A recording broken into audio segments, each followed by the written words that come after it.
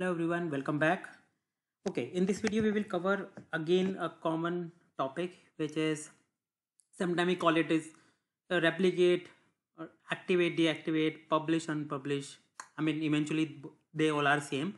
How do we do that? How do we achieve it? And uh, so what do we want to replicate, for example, we want to replicate any pages, we'll go under sites uh, and then we if you want to replicate assets um, then we go under assets now but there are multiple ways to activate or uh, publish a content right?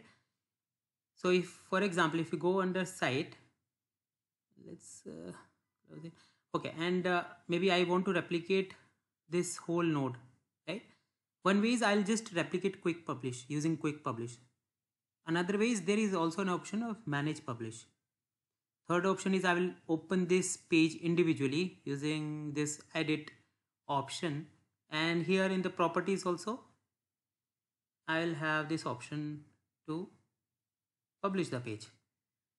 Okay, multiple ways but what is the difference between this quick publish and manage publish? So when I click on quick publish what it shows it says says that pub, the page and their references will be published.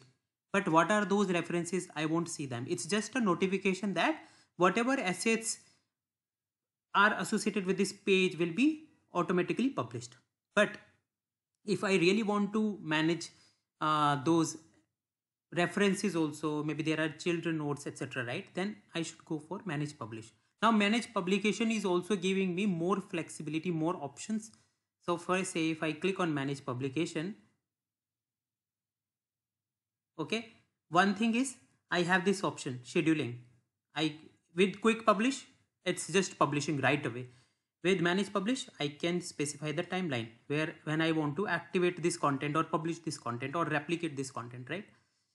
Next is i will also see uh, i want to uh, maybe i want to add more content to it uh, maybe this page and maybe i want to add any experience fragment any DAM tags etc so i have that flexibility. On the go i am activating multiple content multiple trees.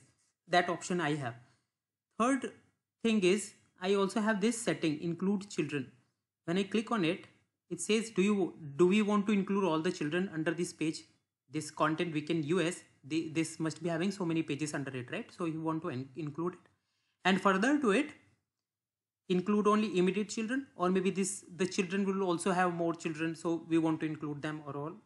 And only we want to include modified pages or include only the already published pages. So for example um, i have few pages i have activated them but few pages maybe i just kept it uh, for some references purpose i don't want to make them live i don't want to activate them and again the second time when i'm coming to website i want to activate the root node but I don't want to include those pages which are not yet activated at all. So I have that flexibility here, right?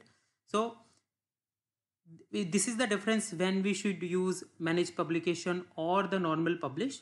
When we just want to activate, we just activate it using quick publish. We can do that.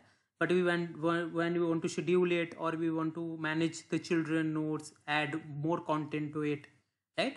Then we should use manage publish yeah that's it in this video thank you so much for watching